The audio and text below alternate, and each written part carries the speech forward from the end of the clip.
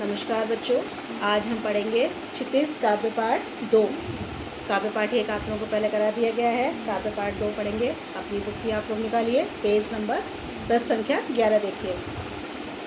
ये तो ये हमारा जो पाठ है, तुलसीदास जी द्वारा रचित है और उनके बालकांड से लिया गया है। जब सीता स्वयंवर के समय वो लोग राम लक्ष्मण और विश्वामित्र जी पहुँचे थे, उस समय का यहाँ वर्णन है। देखिए पेज नंबर ग्यारह। यह अंश रामचरित मानस के बाल कांड से लिया गया है। अब बच्चों, आपको एक तो पता ही है, रामायण और रामचरित मानस अलग अलग हैं। रामायण किसने लिखी थी?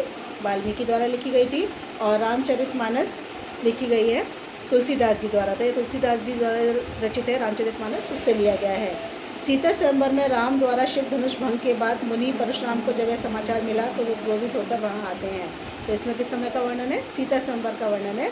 जब सीता स्वयंवर हो रहा था और स्वयंवर की शर्त आप लोगों को पता ही है, ये रखी गई थी कि जो धनुष को उठाकर, शिव जी के धनुष को उठाकर उस पर प्रत्यंच चढ़ा देगा, उसी से सीता का विवाह होगा।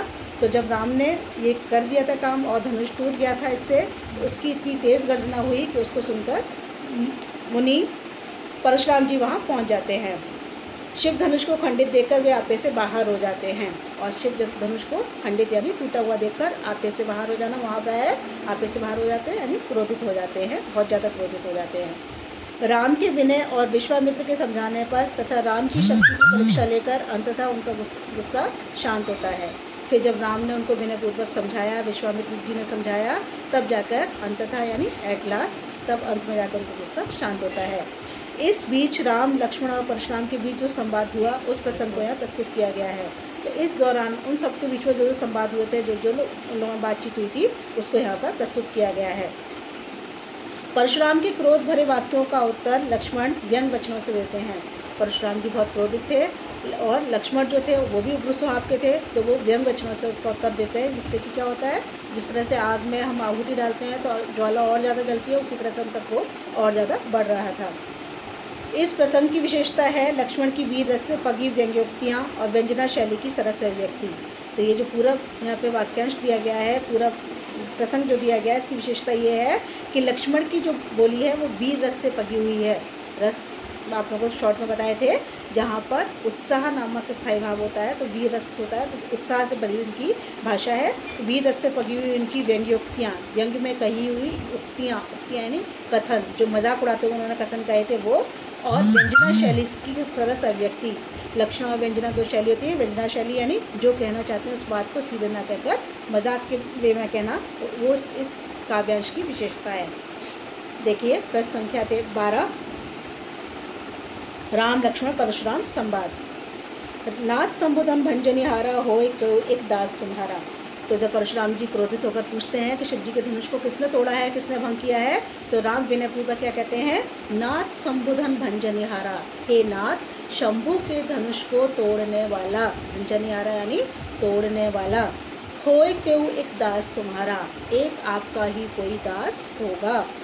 आयुष कहा कहिन किन मोही आयुष यानी आज्ञा, कहा मतलब क्या, कहिन मतलब कहिए मुझसे। आप उसे क्या आज्ञा देना चाहते हैं, आप मुझसे कहिए। सुन रिसाई बोले मुनि को ही। सुन मतलब सुनकर रिसाई मतलब क्रोधित, मुनि मतलब परशुराम जी को ही मतलब क्रोधित होकर। ये सुनकर पहले से ही क्रोधित, परशुराम जी और क्रोधित होकर बोले, सेवक जो सो करे सेवकाई। क्यों क्रोधित हुए? क्योंकि राम ने कहा था कि आपके सेवक नहीं तोड़ा होगा। लेकिन परशुराम जी ने क्या कहा?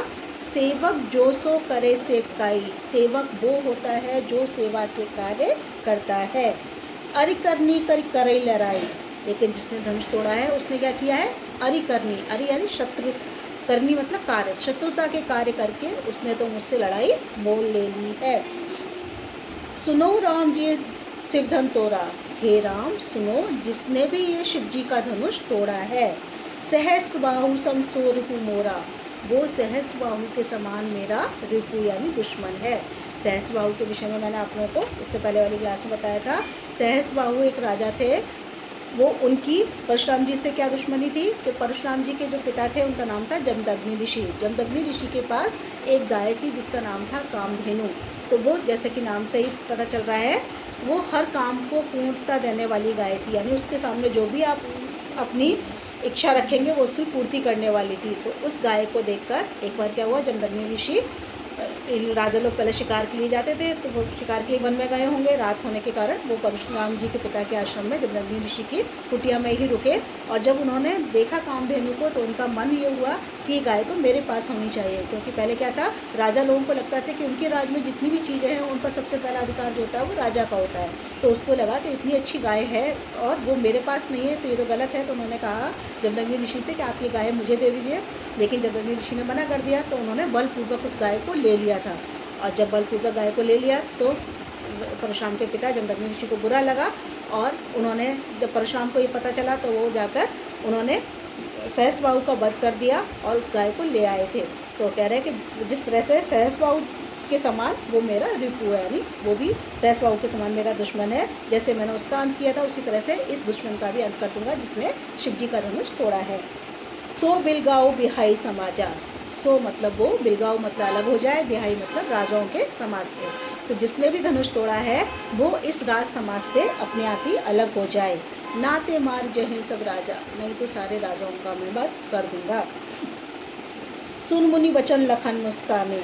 और जब मुनि के ये वचन सुने कि मैं सभी राजाओं का बात कर दूँगा, ये सुनकर लक्ष्मण को हँसी आ गई, मुस्कुराने लगे। बोले परस उधर अवमाने। अब मानना मतलब अवज्ञा करते हुए। और वो परशुराम जी की अवज्ञा करते हुए बोले, बहुधन ही तोरी लड़काई, कि हमने लड़काई में, यानी बचपन में बहुत सी ऐसी छोटी मोटी धनुइयाँ तोड़ी थी। कबो न ऐसे ऋषि कीन गुसाई। तब तो आपने ऋषि कभी आकर ऐसा ऐसा ऋषि यानी क्रोध नहीं किया। यही धन पर ममता के ही हेतु। यही मतलब इस धनु मतलब धनुष, ममता, यानी प्रेम। आपका इसी धनुष पर इतना प्रेम क्यों है? सुन रिसाई के भ्रघुकुल केतु। और ये सुनकर भ्रघुकुल के केतु के स्वरूप भ्रघु इनके कुल का नाम था, इन, और केतु मतलब होता है ध्वजा। ध्वजा यानी होती किसी चीज़ का साइन। तो अपने कुल के साइन के साइन के रूप में जो थे, परशुराम जी, वो क्रोधित होकर बोले, रे नृप बालक काल बस बोलत न तोहे संहार, धनु ही सम धनु विदित सकल संसार। क्या बोले? रे नृप बालक काल बस। हे नृप बालक, नृप यानी राजा, बालक मतलब बच्चे यानी राजकुमार।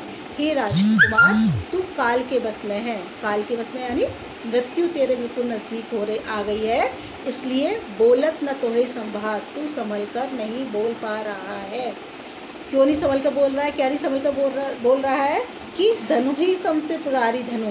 कि कोई छोटी मोटी धनु ही नहीं है छोटी मोटी धनु ही नहीं है। ये त्रिपुरारी धनु। त्रिपुरारी त्रिपुर के राजा, तीनों लोगों के राजा, अर्थात शिव का धनुष है, विदित सकल संसार। ये पूरा संसार अच्छी तरह जानता है, लेकिन तू इस बात को नहीं समझ पा रहा है, अर्थात तेरी मृत्यु तेरे निकट आ गई है। लखन कहा, हँसी हमरे जाना। लक्ष्मण को और ज़्यादा मज़ाक सूझा और हंसकर कहने लगे कि उसने लक्ष्मण कहा, हँसी, हमरे जाना? लक्ष्मण हंसकर कहने लगे कि, जहाँ तक मुझे पता है, हमरे जाना यानी जहाँ तक मुझे पता है। सुनो देव, सब धनुष समाना।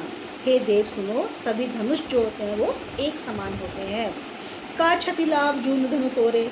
क्षति मतलब ला, हानि और लाभ मतलब फ़ायदा। किसी भी छोटे से जून धनु तोड़े जून मतलब पुराने। एक पुराने धनुष को तोड़ने से क्या हानि या लाभ हो सकता है? देखा राम नयन के भौरे। राम ने तो इसको नए के भ्रम में देखा था भौरे यानी भ्रम में नए के भ्रम में देखा था।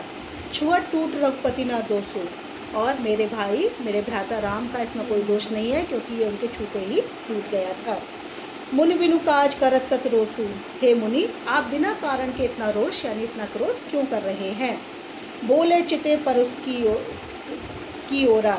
ये सुनकर परशुराम जी अपने फरसे चिते मतलब देखकर परस मतलब फरसा जो उनका हथियार था, उसका नाम था फरसा अपने फरसे की तरफ़ देखकर बोले, रे सट सुनऊ स्वभाव न मोरा, हे सठ सठ यानी मूर्ख, हे मूर्ख, तूने मेरे स्वभाव के बारे में अभी नहीं सुना है। बालक बोल बधो नहीं तोई, अभी तक तो मैं क्यों चुप था? बालक बोल, बच्चा समझ कर मैं तुझे नहीं मार रहा था, तेरा वध नहीं कर रहा था। केवल मुनिजड़ जाना हूँ मोही तू ये समझ रहा है, मेरी वेशभूषा को देखकर लग रहा है कि मैं एक केवल ऋषि मुनि हूँ, ऐसा नहीं है। तू मुझे जड़ मतलब मात्र, तू मुझे एक मात्र मुनि मत समझ। बाल ब्रह्मचारी अति को ही। मैं बाल ब्रह्मचारी हूँ, बचपन से ही मैंने ब्रह्मचार्य का पालन किया है और अति को ही, बहुत ज़्यादा क्रोधित होने वाला हूँ। विश्वविदित क्षत्रिय कुल द्रोही। पूरा संसार अच्छी तरह से जानता है कि मैं क्षत्रिय कुल का नाश करने वाला हूँ। भुजबल भूमि, भूपि विनुकिनी मैंने अपने भुजाओं के बल से कई बार इस पूरी धरती को भूप के बिना, भूप यानी राजाओं के विहीन कर दिया है। विपुल भार मई देवन दी और